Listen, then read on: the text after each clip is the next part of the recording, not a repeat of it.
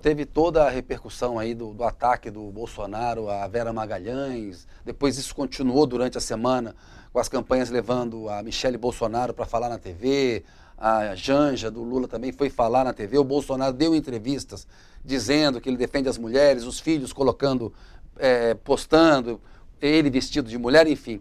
Esse segmento, vamos ver daqui a pouco o dado como é que está.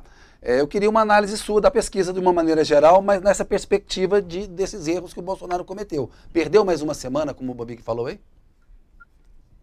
Então, Kennedy, a impressão que dá é que qualquer esforço que Bolsonaro faça é, não é suficiente, não é forte o suficiente para fazer com que ele saia do mesmo lugar. É, várias coisas aconteceram é, das últimas entre essas últimas pesquisas, que foi o debate, foi ah, as entrevistas do, do Jornal Nacional, foram essas concessões todas de auxílio, e, e, parece que nada foi suficiente. Bolsonaro estava com 32, conseguiu baixar para 31, isso falando de IPEC.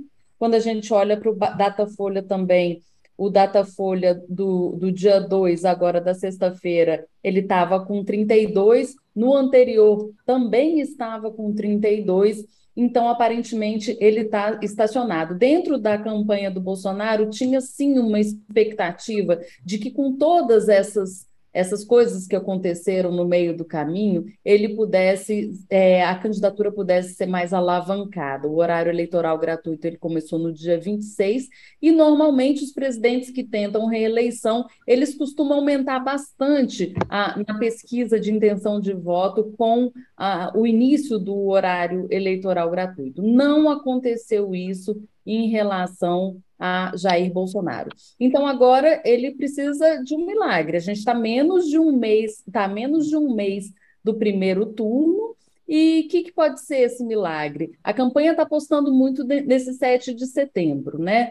Vão, vão ter muitas manifestações. O presidente Jair Bolsonaro, inicialmente, ele foi aconselhado é, por aliados próximos a não bater tanto no judiciário, a ter um discurso mais ameno, mas pode ser que agora, diante desse quadro estacionado que ele está vivendo, pode ser que agora ele aposte, ele faça uma aposta maior para esse 7 de setembro, pode ser que ele mude de ideia e realmente adote um discurso um pouco mais firme, um pouco mais acenando para a militância clássica. Mas o que a gente vê até agora são essas tendências das pesquisas mesmo, de que é, a, a margem de mudança é muito pequena entre quem quer votar em Lula e quem quer votar em Bolsonaro. A gente viu ali uma certa dança de cadeiras na chamada terceira via, Ciro cresceu um pouquinho, Simone cresceu um pouquinho, mas tudo muito dentro da margem de erro, não dá ainda para a gente